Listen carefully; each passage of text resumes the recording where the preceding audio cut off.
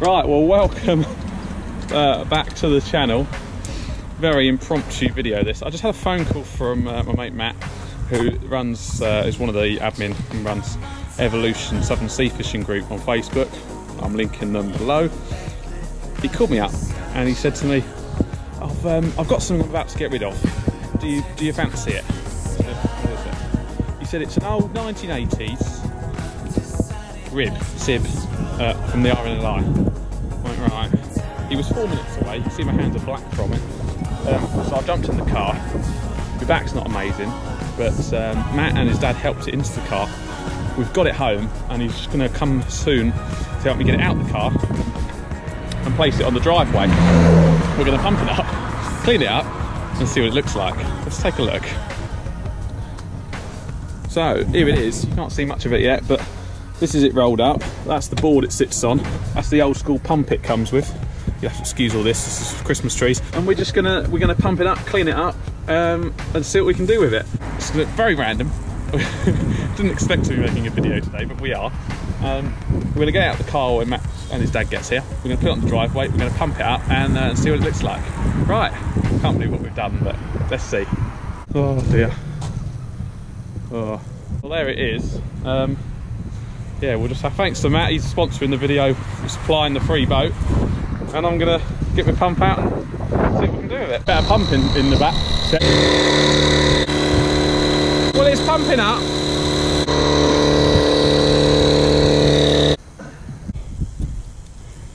That is how many tools it took us to to get the floor in. We're gonna pump it up again now, and uh, yeah, see what it looks like in the morning, I suppose. But yeah, it's a nice old retro bit of kit. Very retro. well, well, well, that took longer than we expected. We got the flooring in the end. I put, say I put that blue barrel under it, and we bent it and we squeezed it in, and we got it in, and we've blown it up to what we can for now. And this is it. So very, very tatty. You can see uh, that's the bow cover, and it's got tears in it. Um, I believe this is a 1980s rib. We've got some broken handles, um, but think how many lives this would have saved. We, that's, that's the floor, we got that in in the end. Um, we've got an old foot pump as well. Look at that old retro pump, as I showed you earlier. Got a couple of bits and bobs to put back on there. Sponsons come back here. So we've got that, that which I'd imagine is where the water flows out of, maybe, or something where the engine. I don't know. I'm not sure what they are, but uh, in transit, I guess they go on these little cleats here. So they kind of stick up like so. But look at that. Tomorrow more see there's a bit of damage on there look. You can see a little bit of little bit of damage but this boat hasn't been inflated for two years. And um, when I saw it you know when, when Matt rang me I, I looked at it and went that is just that, that isn't going to hold any air. Um, and at the moment it is. Um, we've already pumped it up to about 2 psi. I'd imagine these tubes probably go up to about 5 or 6 psi. Um, so tomorrow, I'm going to charge the battery up on the, um, the charger there, and uh, we're going to try and pump it up a little bit more and see if it holds enough air. But the idea will be, is we're going to find someone who's an enthusiast, uh, maybe an online museum, or someone with a trailer who wants to take it somewhere shallow, somewhere safe, um, and, and have a little trip out on it and then either get rid of it or, or keep it for themselves. Because I, I don't want it permanently. Um, but I'm going to give it a nice clean tomorrow. I'll take you on obviously the video will be out for you to see. Um, we'll, we'll do a little clean on it. And then yeah we'll see what we can do. Who wouldn't want a rib just outside their front door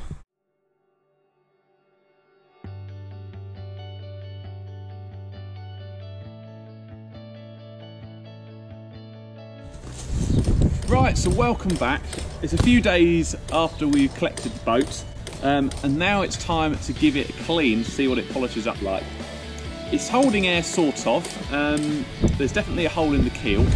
Um, what else? Uh, there's obviously a couple of holes in it because it's not quite as hard as it should be, um, but it, it's holding air. I've got a few people which are interested in restoring it. So let's get it cleaned see what it looks like and uh, see if we can reform it to some sort of former glory. I've got a very special, very special cleaning solution, which is going to turn this boat into like like new, uh, with very little effort, uh, and that will be available to buy, uh, possibly in the future via us. Uh, so let's get on with the cleaning and uh, see what, what we can bring it up like. So our special cleaning solution is in a disguised elbow grease style spray bottle. Now you can see all this muck here. We're just going to spray it with this solution, being very very careful it doesn't get our eyes because it's exceptionally strong. Just let that let that do its thing, and that's just going to work its magic. And then we're just going to get an old towel, a dog towel, this one, and wipe it off. Watch this.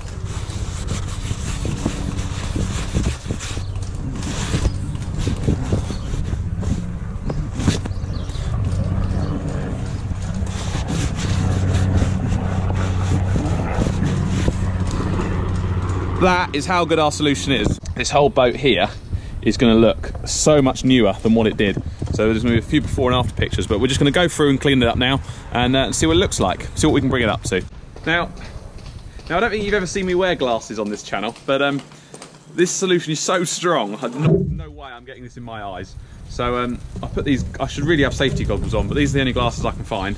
Um, reading glasses, believe it or not. Um, and we're gonna we're gonna get going on this boat. It's looking amazing already. So we're gonna keep cleaning it up and, uh, and see see what we it bring it up like.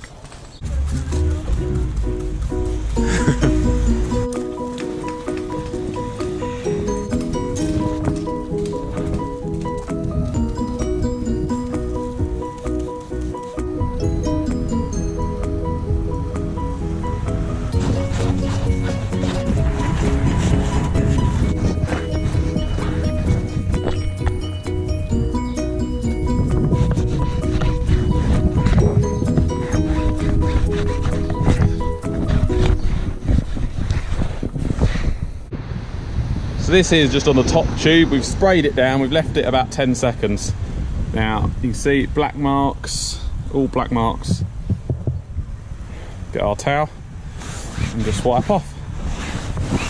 This stuff, believe me, you won't get any better than that. Look how clean that is. It literally eats away at rubbish without damaging the fabric. Look at that, fantastic. Now the orange, we're, we're, we're, not bringing out, it's not bad, look, it's a lot better if you look down there, we haven't done that section yet. You can see it's all black and brown. And then up here we've got nice bright orange. But obviously uh, this is painted on, I believe. Or it's just a very thin material. You can see down here it's like cracks away a little bit. So um, it's not it's not going to be perfect, but we're going to give it a good old clean as what we can. Um, so we've done around here. But look, look at the, the grey especially just comes off. Look how beautiful that's going to be. You know, look, compare it to that side. It's all black and horrible and then we've got this side here. And that's not even scrubbing that's just rubbing down gently. Amazing. Absolutely amazing. Maybe not usable but pretty for the next owner at least to start uh, the project on. I really hope someone can can uh, fix it up and make it nice. Fingers crossed. So this one here is going to be a great example. So I'm just brushing all the dirt off just with a brush and then I'm going to say just spray that solution on. On, get bit of that muck off there. Spray that solution all over the side here. Do it up the top as well, why not? Get it all on there. I've made up this all about three quarter solution, three quarters water, quarter water, so it's quite strong stuff. But watch, watch this. I've got the world's best post lady behind me just delivering my post. She's probably wondering what the hell's going on. right, here. Let's clean that up. This cleanup is absolutely incredible stuff. The post lady won't know what boat it is tomorrow by the time I finish with it. So this this this rag's a bit oily, so I'm just going to change it in a minute. It's just spreading the dirt, but at that. Literally, it's like it just changes the boat. Look at that, and then we'll top top it here. Get a nice old clean.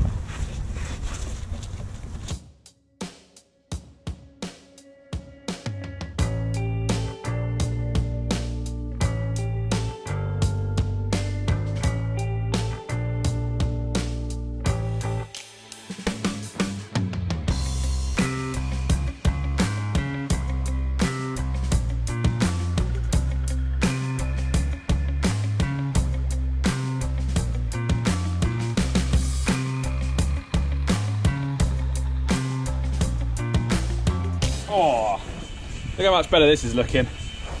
Still not in great condition, of course, but wow, just the condition of that is a lot better. I've just changed the solution slightly for uh, for the orange part because it's got a lot of muck. Um, so it's sort of more three quarters um, solution, one quarter water, but a little, a little bit more than it was before.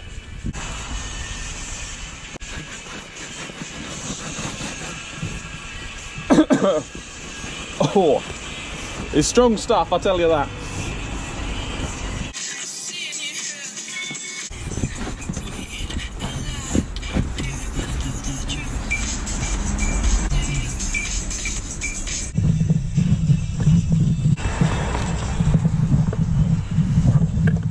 Right, so I'm just going to take you over here. Um, as you can see on this one, really dirty compared to that. This is probably going to be one of the best transformations this area here. I mean, it's absolutely gross. It needs so much work doing to this boat. Um, you've got the floor down there. It's just, yeah, it's, look how dirty it is under there. But we're going to make it look like this. See how that, watch, watch this. It's going to be a lot of watch this and see how amazing it is, but it's, it really is incredible. Look at that. And that's taken seconds. That's not even, that's not even any effort or any muscle going into that to scrub that up. Look at that. Absolutely incredible compared to that. Look, amazing difference. Just with a little spray and a little rub, done.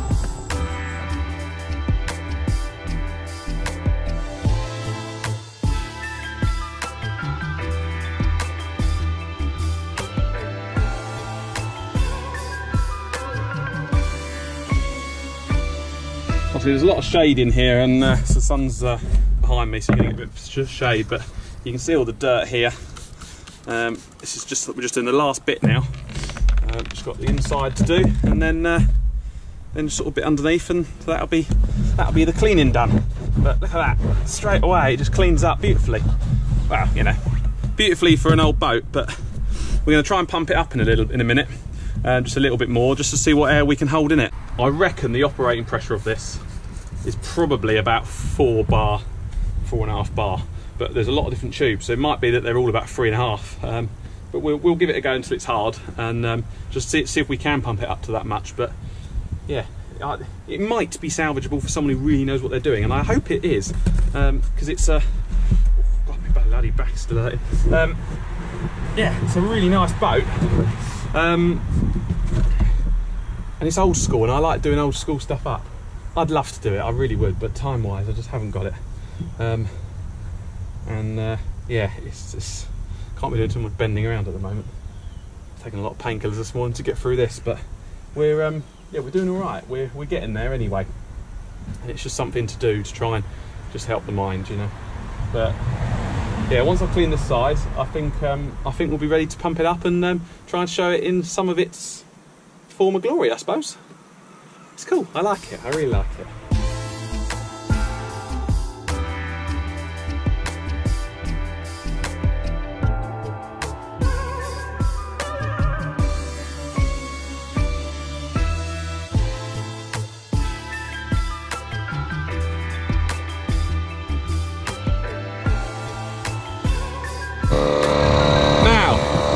Fiddle around in my shed and I found a new adapter. Uh, the other day, uh, the other evening you saw us pumping up, we were using this one here, which was the wrong one. And I found a good one. And look, our pressure is going up steadily.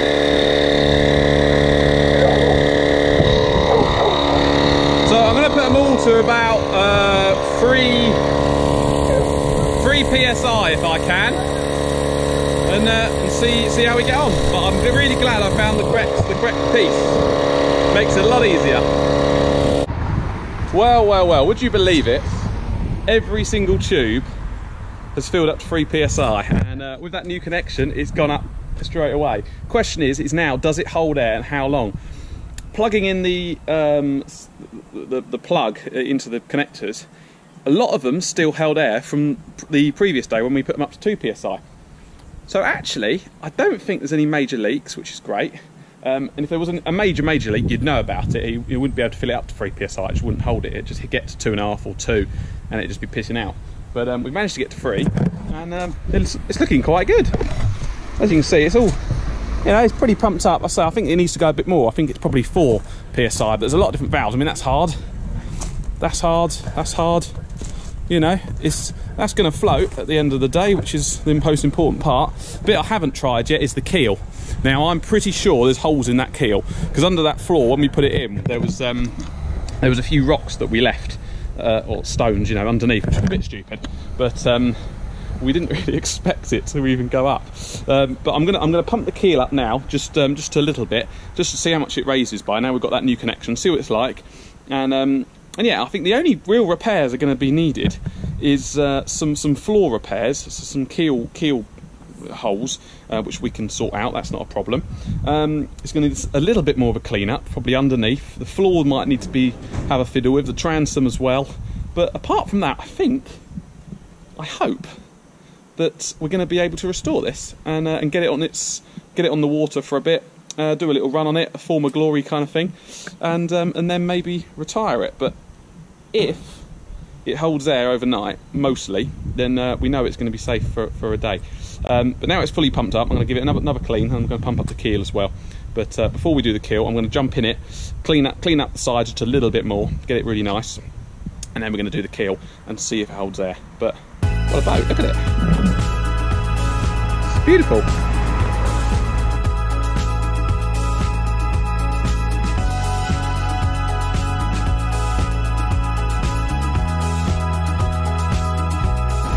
So this is it. The uh, the floor, uh, the, the, the, keel, the inflatable keel floor only went to uh, I think 1.70 uh, psi. So there's definitely holes in the floor um, and, and, the keel. That's what we've got to sort out. Um, and then there's that there's that sort of hole in between the front tube. But um, so I think there's probably multiple holes in the floor, which we've got to deal with. Um, and then there's that one there's that one hole on the other side.